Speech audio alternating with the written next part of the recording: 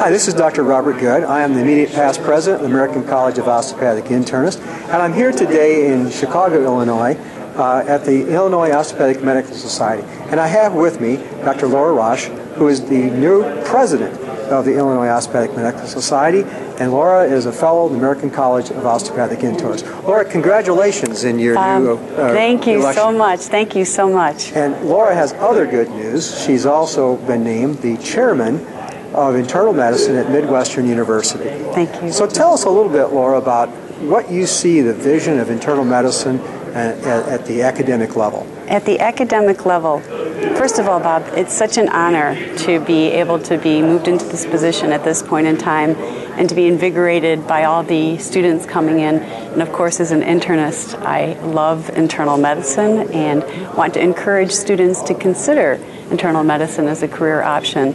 What I see for the future, and what we were talking about a little bit earlier, is the use of technology is rapidly evolving, as you know, and to be able to implement some of these uh, ideas into the curricula so for the medical students to be able to utilize. Um, what I do envision for the future, of course, is through this uh, involving clinicians more as part of the teachers and the mentoring process and the education Okay. of the medical students, whereas we don't traditionally sit and read a book and give lectures according to the book outline. Now clinicians become the true teachers of internal medicine and actual application of the materials. The students can use the technology to help gain the foundation to understanding their course and their curricula, and then we can involve uh, mentors and, and internists in their in their education process. So we don't want to forget the Phoenix physician No. and, and how that might be instilled into your programs for physician leadership.